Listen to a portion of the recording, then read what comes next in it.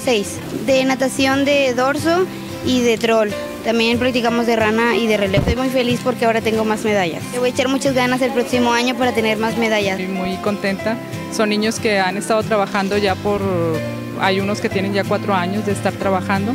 Entonces eh, ahí se ven los, los frutos. Es un programa que está abierto para todos los niños que tengan algún tipo de discapacidad.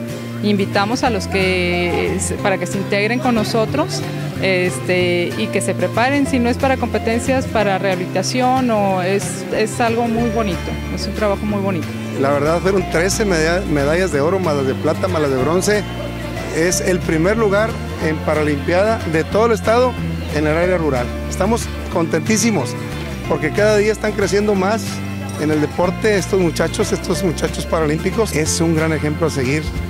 Son unos verdaderos tejones, como todos los allendenses bien emprendedores, bien trabajadores y aquí está la muestra.